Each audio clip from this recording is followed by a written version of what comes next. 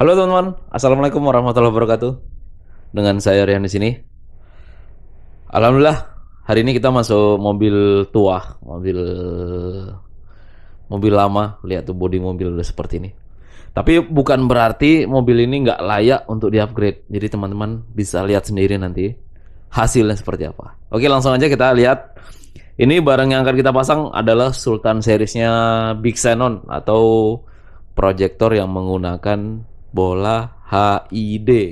Cuman uh, untuk generasi ke depan mungkin buat teman-teman yang mau pasang ini coba dipikir dulu karena generasinya ke depan bakal berubah jadi LED. Gitu. Untuk casing ini kita pakai yang single angel A. Ini yang single angel itu maksudnya cincinnya cuma satu gitu. Ini yang yang pasti ukuran casingnya di atas 3 inci. Uh, biasanya sih ukurannya 4 inci, cuman untuk bracketnya itu bracketnya untuk yang 3 inci.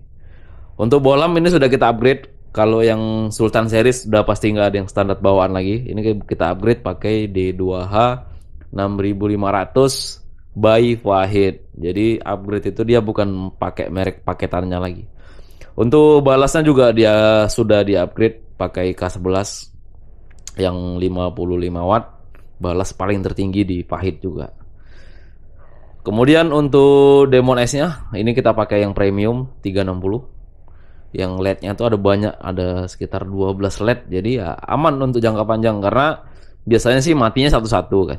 Nah, cuman di sini nanti oh karena banyak LED-nya jadi mati satu masih ada 11 gitu. Jadi untuk pemakaian jangka panjang aman lah.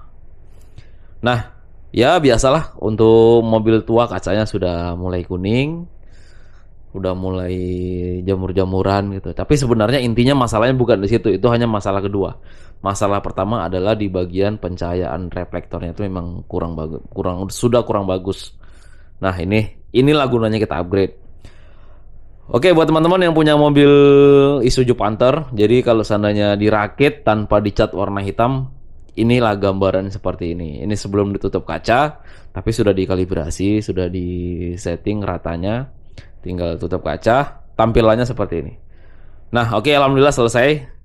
Jadi buat teman-teman yang punya mobil Isuzu Panther wajib lihat ini karena biasanya mobil-mobil seperti ini sering dipakai buat di kebun atau bahkan masih banyak mobil seperti ini masih dipakai jalan lintas jauh karena memang naik di atas ini memang masih nyaman masih layak dipakai. Cuman kalau untuk body ya nggak usah diharap lebih ya ibaratnya mobil ini ya sudah seperti mobil tua yang mobil anti gores kalau bahasa kita kan.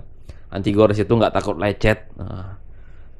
nah ini setelah matanya di upgrade dan dibuat cantik seperti ini tapi intinya kita bukan ini ini hanya bonus ya kita ada yang ini hanya bonus yang didapatkan yaitu cantik. Nah intinya itu seperti ini. Hasil sinarnya ke jalan. Karena memang kita fokus ke sini ya fokus ke hasil sinar. Jadi apa pun cerita kalau seandainya nggak terang percuma gitu. Jadi ya untuk Sultan seriesnya ini nggak usah diraguin lagi. Cuman ya masih ada satu kekurangan ya cuman satu aja. Itu umur pakainya yang belum lama sebanding sama LED. Jadi teman-teman bisa lihat sendiri mobil tua setelah di-upgrade. Jadi mau tua mau muda ya kalau seandainya sudah di-upgrade dengan spek yang sama ya hasil terangnya sama aja. Cuman gak usah takut dalam posisi lampu dekat nggak bakal menyilaukan orang lain. Aman, sangat aman untuk posisi lampu dekat. Nah, kalau lampu jauh ya beda lagi ceritanya kan. Mobil tua Isuzu Panther yang sudah kita upgrade. Oke, teman-teman. Mungkin teman-teman yang sudah menonton video ini sudah memiliki mobil yang sama. Biasanya sih lagi cari-cari masalah, lampunya gimana cara mengatasinya.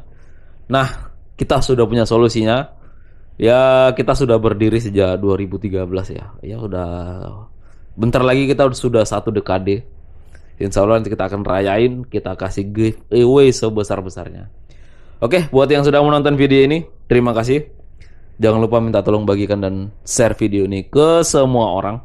Semoga bermanfaat. Jika ada salah kata saya mohon maaf. Assalamualaikum warahmatullahi wabarakatuh. Oke, selesai sudah review kita hari ini mau mengenai pemasangan upgrade proyektor di mobil. Buat teman-teman yang sudah nonton video ini terima kasih. Semoga sehat selalu. Sampai jumpa di video saya berikutnya. Assalamualaikum warahmatullahi wabarakatuh.